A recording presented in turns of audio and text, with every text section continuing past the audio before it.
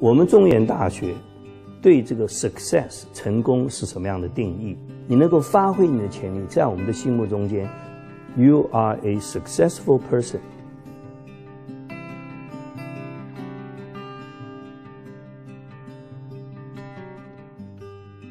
考卷真的只是一时的分数，那能力才能够带着走。我们希望说，我们培养的学生能够充分的结合科技与人文，然后造福人群。那时候真的，我们这乡里的这米啊，真的吃不完。后来呢，好，慢慢的到快七十几年的哈，工商业发达的时候呢，哈，而我们这边的乡里呢，就是慢慢就外流了。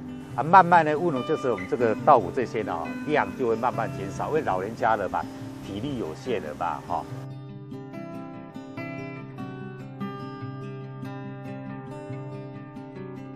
所以我们就做了，呃，独一无二的萧里文创米，希望可以赋予，呃，萧里一个，呃，更新的。生命力。当我们把我们的作品提出来的时候，居民他们的反馈跟他们脸上的笑容，你会觉得，哎，我好像在做一个很不一样的事情，很好吃啊。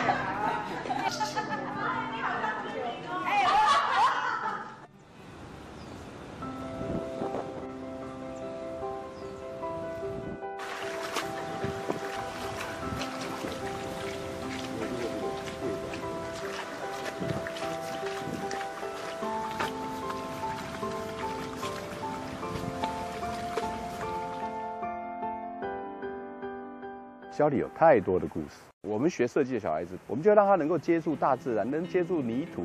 他很多设计的手法不再是驾驭在传统那种教科书式的。我们的设计不再只是为了金字塔顶端的人，是为社会服务。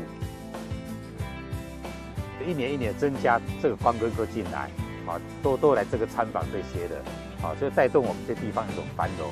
好，跟以前就差很多了啊！把以前的摸的繁荣，现在就带把自己就把带上来了。对于我们学生最重要的事情是，可以让我们所学的东西，真正的、实际的回馈这个社会。